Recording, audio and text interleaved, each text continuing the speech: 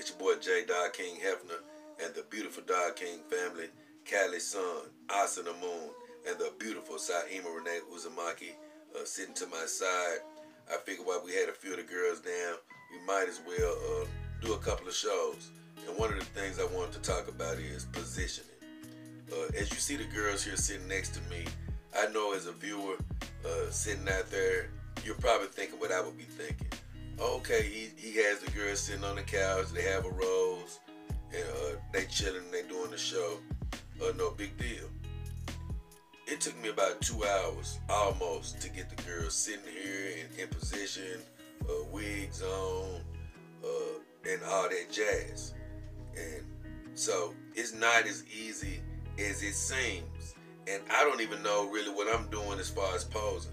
Uh, these girls aren't in any type of super difficult pose, but you have to be so careful when moving the girls around. I've lifted boxes for years, and I know the proper techniques for lifting things up and down. But even so, uh, by being a body and a body that's not giving you any help, uh, you have to be so careful in how you're lifting it, and you cannot afford to drop it at all because it's going to probably damage the dog.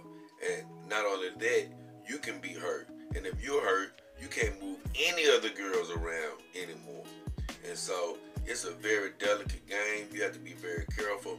And like I told you, this dog game, don't get carried away with the fantasy as far as not thinking about the upkeep and the physical nature of it. And like I did a video long a while back saying, hey, you got to be watching how big you are in relation to the dog you ordering. And I did make sort of a mistake uh, with this beautiful young lady sitting right next to me, Saima Renee Uzumaki.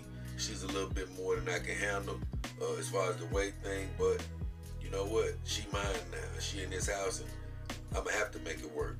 And so I need to keep myself healthy, and I need to take my time with her and the other girls, and just get them in this position, combing their hair, getting them sitting upright.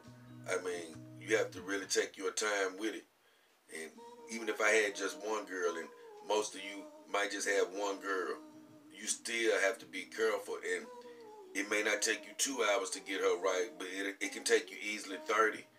And a lot of times I fool myself and I be thinking like, okay, I'm going to get the girls ready here in no time, uh, about 30, 40 minutes. And next thing you know, it's two hours because it takes long. It just takes longer than you think it's going to take. And I often think about how, um, as, as guys, we put ourselves in position to have to uh, wait on a woman to get ready, and we're like, what is she doing?